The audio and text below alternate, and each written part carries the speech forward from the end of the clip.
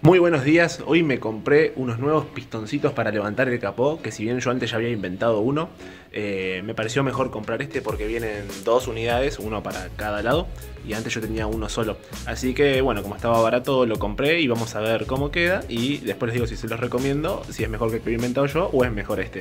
Así que paso a mostrárselos. Bueno, este es el paquete que compré, pesa más o menos medio kilo, me tardó en llegar unos 40 días aproximadamente, así que vamos a abrirlo. Esta vez lo tuve que ir a buscar a la aduana y bueno, acá pueden ver los pistoncitos que viene con los soportes, los cabezales estos, viene todo listo para ser instalado y bueno, nada más que esto. La idea era que llegue puerta a puerta, pero bueno, no tuve esa suerte, así que vamos a ponerlos ahora.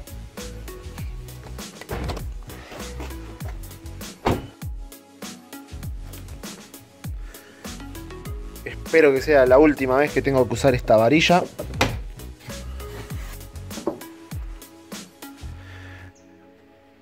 Bueno, todo lo que vamos a necesitar va a ser una llave así de 13, otra de 12, un tubo de 10, un tubo de 13 y nada más. Así que vamos a empezar a desarmar.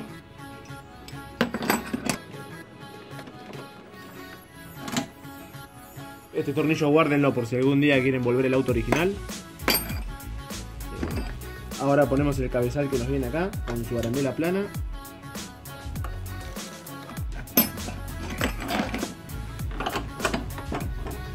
Lo apretamos con la llave de 12.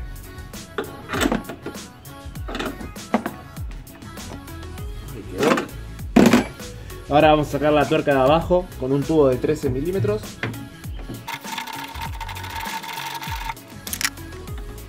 Ponemos esto acá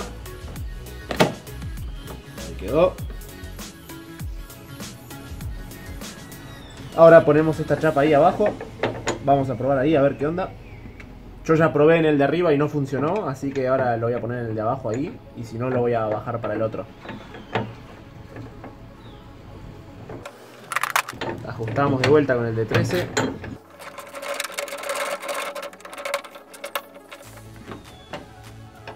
Vamos acá. Esto tienen que sacarlo para poder apretar la tuerca.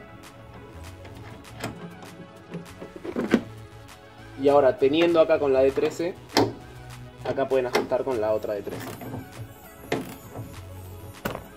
Bueno, ahí quedó el primero instalado. Ahí se puede ver cómo es. Viene con esta partecita acodada para que ya quede como mirando para arriba.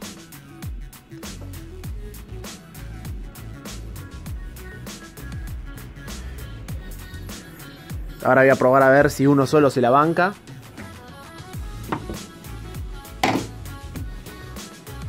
Y no, se cae con uno solo, ¿eh? Lo que sí estoy viendo es que aumentó un poco la luz acá del, del capó, ¿eh? Miren con el otro lado. Ven que esta separación es mucho más chiquita.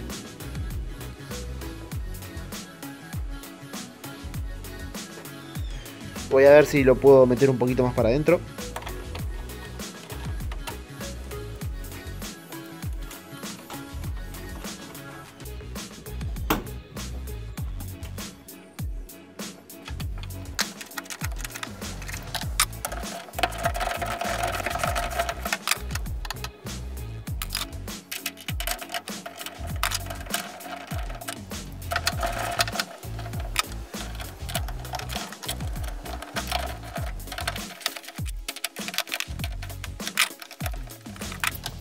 Bueno, ahí quedó totalmente instalado, así que vamos a probarlo.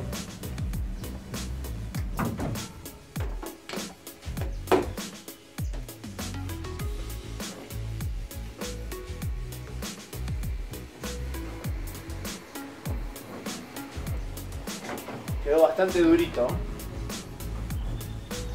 Ah, se lo ve seguro.